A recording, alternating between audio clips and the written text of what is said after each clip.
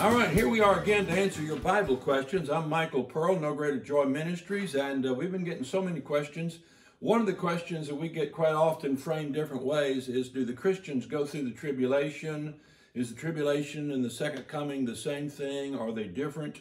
Uh, so that's what I'm going to answer today. In fact, it, there, there's so much scripture on it, it's like it's just everywhere. It's just the whole Bible. Uh, so it's difficult. It would take me hours and hours to give you all the scripture on it, but no question about it that Christians do not go through the seven years of great tribulation. Now, this is my uh, studio where I paint, and I just thought it'd be a good spot. I got lights and everything here. But this is the book of Revelation that I did some time back. I painted this. The original is about um, eight, nine feet long. And uh, this is a reproduction we've done. Can you see the whole thing in the, in the camera okay? We've reproduced this because so many people ask for it. You can use it in your Bible studies. It's got everything in the book of Revelation. You got your verse markings here. This is chapter 7, talks about the interval, the golden censers, chapter 8, 1, the angel blowing the trumpet, 11, 13, so forth. So it's the entire book of Revelation painted from beginning to end. Makes a really good study guide. In fact, we have a study guide that goes with it. And so I'm going to answer the question, do Christians go through the tribulation? Now, do, there's so many different ways of doing it. I'm just going to take, for brief, for brevity, I'm just going to take one section, one little point, and answer it from the book of Revelation. So this is going to be scripture. If you're not interested in scripture, you won't be interested in my answer. And I'm going to show you exactly what the Bible says, okay? Now, in the book of Revelation, uh, the first three chapters repeatedly talk about the church. In fact, it gives the name of seven different local churches that the Apostle John ministered to. And with each church, John gives a very specific statement to that church, talks about their problems, talks about their needs, and addresses them. He promises them if they'll overcome, that they'll be uh, granted uh, name or be written in the book of life, uh, New Jerusalem, come down into heaven, so forth. And then he also promises one of the churches that if they uh, endure, if they uh, persevere, that they will not experience the tribulation that's going to come. He will he will save them from the hour of temptation that's going to come upon the whole earth. And then you come to chapter 4, verse 1, and John has an experience that's uh, like the rapture. He said, I looked and behold, a, a, door was open in heaven, and the voice I heard spoke with a trumpet, said, Come up hither, and I'll show thee the things which must be hereafter. And so then John is taken into heaven, and through chapter 19, chapter 4 through chapter 19, which is what we've painted right here, this is where chapter 4 starts, and uh, it takes us all the way through 19. So this period of time is called Jacob's troubles or the Great Tribulation. So during this time of prophesied Jacob's troubles the Great Tribulation, seven and a half years, the latter half of it is called the Great Tribulation. And that's the time when the vials are poured out and all sorts of judgments take place upon the earth. One fourth of the world's population is killed, one half the world's population, so forth. So there's only about a tenth of the world's population left. At the end of that seven years of tribulation, the Christians have been raptured up to heaven here and experienced seven and a half years in Christ's presence. The marriage of the Lamb takes place, we have painted here, and then the saints come back to the earth with Christ on a white horse at that point, Christ comes back and confronts the nations, and a final battle takes place when he slays the armies of the world in the valley of Megiddo in Jerusalem, slays them with the sword of his mouth.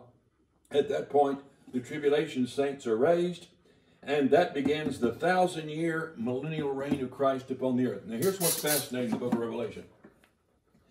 The first four chapters, that's painted from here to here, the first four chapters, first, excuse me, first three chapters have the seven churches. When you get to the seven sealed book and it's opened up, the church is never mentioned anywhere in here except it's mentioned in heaven one time. Chapter 4 is mentioned in heaven where people from every tongue, tribe, kindred, and nation who were redeemed to God by the blood of the Lamb are around the throne praising God. So the Christians, the saints, are in heaven. while the great tribulation is going on down on earth. Israel is mentioned. In fact, the whole thing is about Israel and judgment upon Israel, about Jerusalem, about uh, uh, the land there that we call the Holy Land. All, all of this takes place there. But not once does it mention the church. Never. Not once does it mention any of these. There's no exhortation to them to prepare for this tribulation. There's no exhortation to them that they need to endure through it.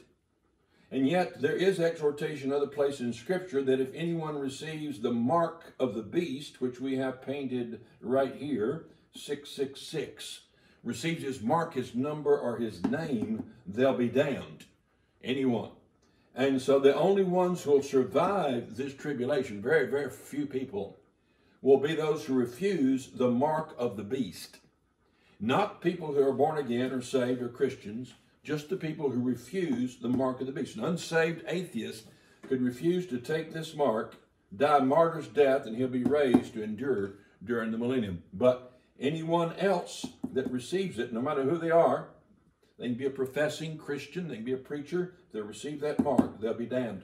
I, I kind of laugh at people today, Christians, Christians are conscious of, of uh, the little marks on uh, groceries when you buy them, little barcodes, and and they used to talk about uh, getting stamps in the back of the hand or uh, getting little uh, what they uh, inject into you a little uh, microchip so they can read it, and they all fear that's the mark of the beast.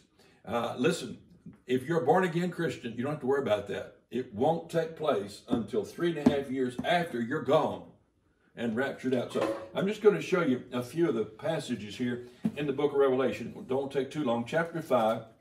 Now, here it says, and they sung a new song, and this is this is the people in heaven.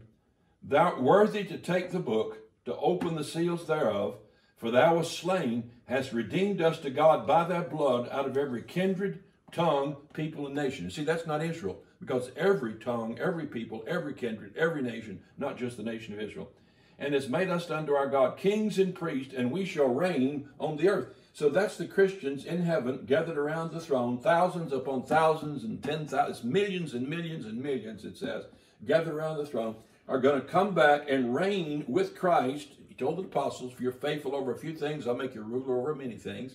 He talked about some of them being ruled over one city, some over ten cities during that millennial reign of Christ upon the earth. This is called the kingdom of heaven.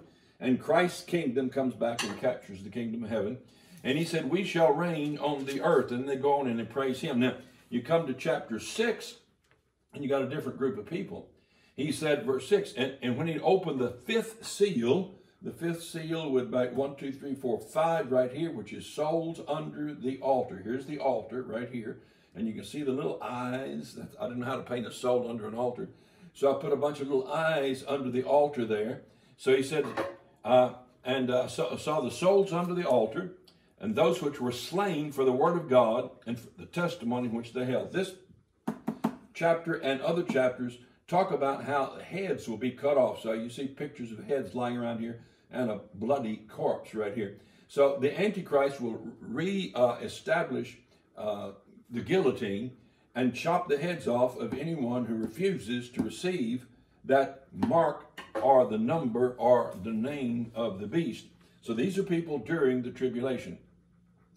And it says, and they cried with a loud voice. Now, these are dead people already under the altar. Now, you say, where's the altar? The altar is in heaven. That's the altar at the throne of God uh, that we will see at another time. He said, uh, and the souls of them cried with a loud voice, Holy, holy, holy, how long dost thou not judge and avenge our blood on them that dwell on the earth? So these dead, old, dead tribulation saints, which would be some of the 144,000, anyone who wasn't saved during the tribulation, didn't hear about Jesus Christ, didn't reject him, uh, never heard before, some of them will believe during this seven year period. Many of the Jews which never heard will believe during this seven year period. And those that believe and refuse the mark have their heads cut off, their souls will be under the altar. And they cried, uh, and white robes were given, and this is Revelation 6 11. White robes were given to every one of them. That's very key. And it was said unto them that they should rest for a little season until their fellow servants also and their brethren, that's Jews, should be killed as they were and should be fulfilled. So they're told to wait until this little while, this tribulation is over with. At that point, the unsaved, I mean, excuse me, the, the saved tribulation saints will be resurrected at that point. Now, when you come to chapter 7, uh, he says, I saw the fourth angel stand on the four corners, so forth, so forth. And he says, and he said, Hurt not the earth, neither the sea nor the trees, till we've sealed the servants of our God in their foreheads. So here's some people that God's going to protect. This is the people God's going to protect uh, for a period of time during the seven years. And I heard the number of them that were sealed, and there were sealed 144,000 of all the tribes of the children of Israel. So the 144,000 that are sealed, all are Jews, all male virgins. They will be like Apostle Paul's going throughout the whole world and preaching the gospel to everyone. Of the tribe of Benjamin was sealed, the tribe of Reuben was sealed, 12,000, tribe of Gad, tribe of Asher, Naphtali, Manasseh, of Simeon, Levi were sealed 12,000, 12,000, Zebulon, 12,000, Benjamin, 12,000. So he makes it very clear, names each tribe by name, and says it's 12,000. I'm sorry, Jehovah's Witnesses, you're not included in this. You're not part of the 144,000.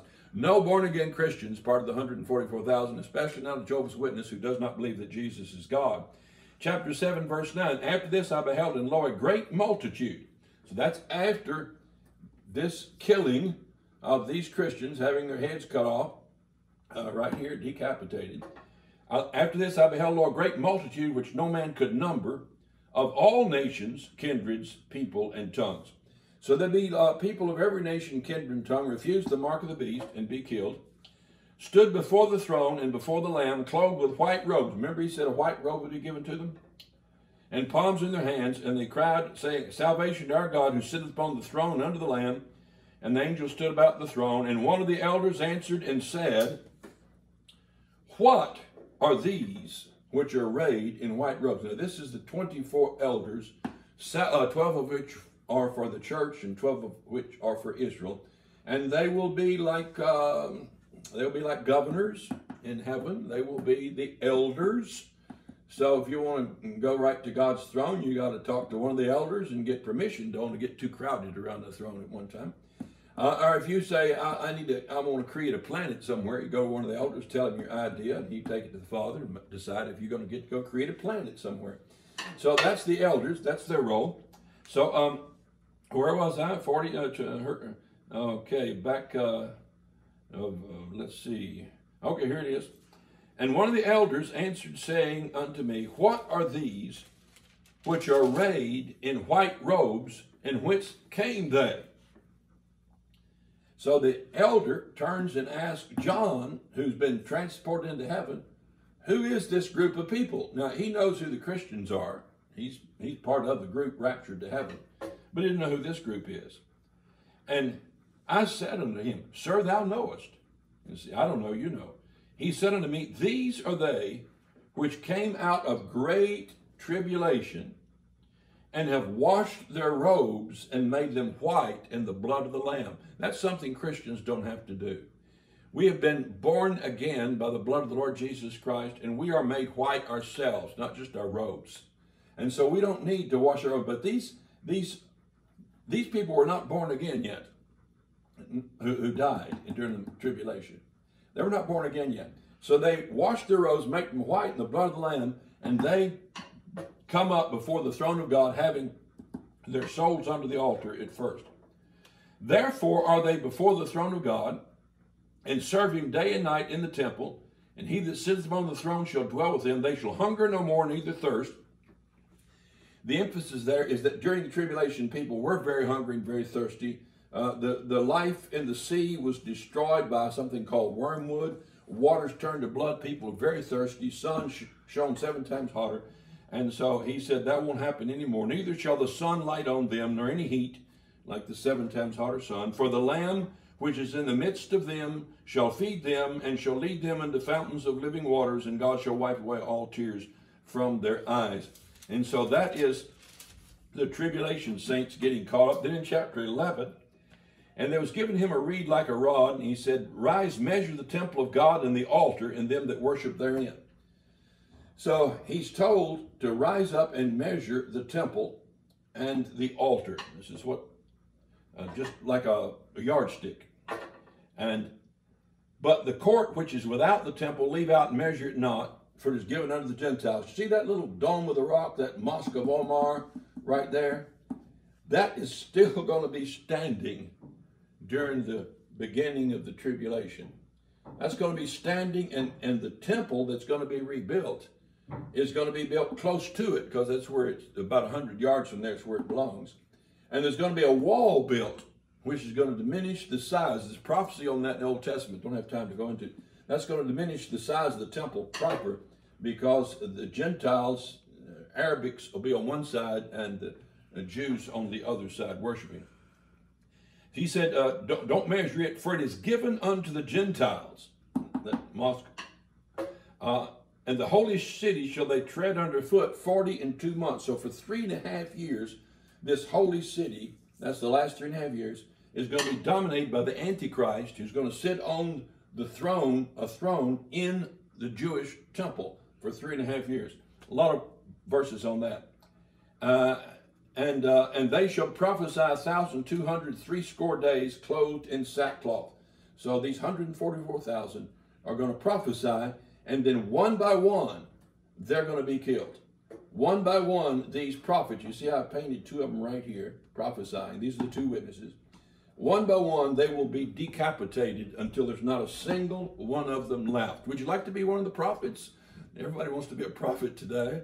Well, you get to have your head cut off if you're one of God's prophets during the tribulation. All right, now I'm going to stop there. Uh, there's uh, with chapter 12 we begin with more thoughts on it, but all I did was just skim real quick over this seven-year period to show you that the church is nowhere in any of this. This is about Israel. It's about the temple. It's about the 144,000 Jews. Uh, the church is one thing, Israel is another.